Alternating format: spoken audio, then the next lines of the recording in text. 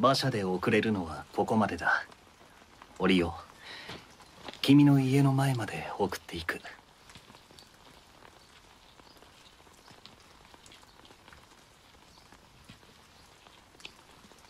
どうやら昨日の天気予報は外れたみたいだ。曇りのち晴れだと言っていたが結局夜は雨が降った。ああその通り。僕はいつも翌日の天気予報を確認してる。そうすれば出かける時も安心だろ？普段のこの時間？ああ大体家で本を読んでる。雨はいろんな雑音を消してくれるから集中したい時にはかえって都合がいいんだ。寝てる？まあ寝るのも一つの選択肢だな。しかしその答えは実に君らしいというか。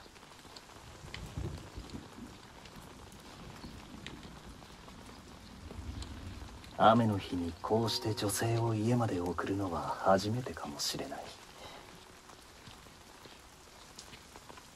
落ち着かないが嫌ではないな。送っていった相手が君だと思うと特に。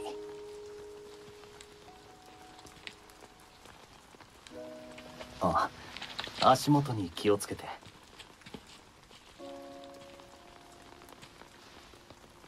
ほら少し先に光っている場所があるだろう。水たまりだ。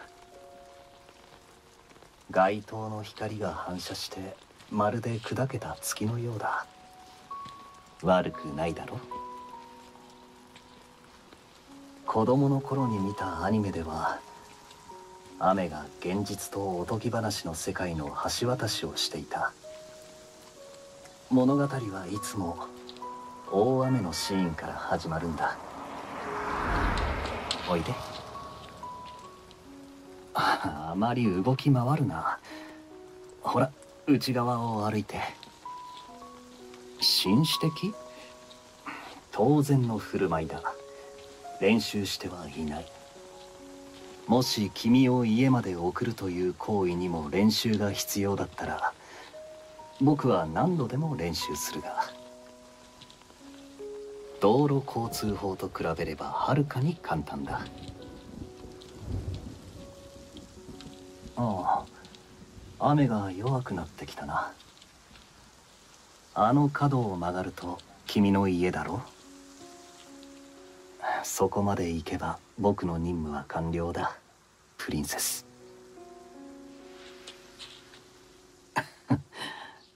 やっぱりこの呼び方は口にする前に深呼吸する必要があるな。正直に言うと僕はこの雨が止まなければいいのにと思ってる。この道が永遠に続いていればいいのにとも眠くなってきたからだろうかこんなことを言うなんて。でももう少しこうして君と歩いていたい。ダメかな？え？君が先に僕を家まで送ってから僕がまた君を送る？いつまでもそんなことをしていたら朝になっても家に帰れないだろうな。この近くをもう少しだけ歩こう。雨が止んだな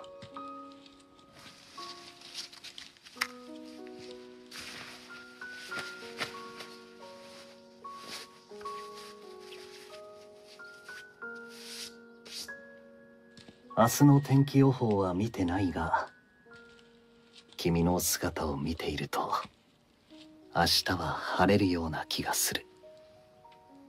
これは永遠に終わらない物語なんだ。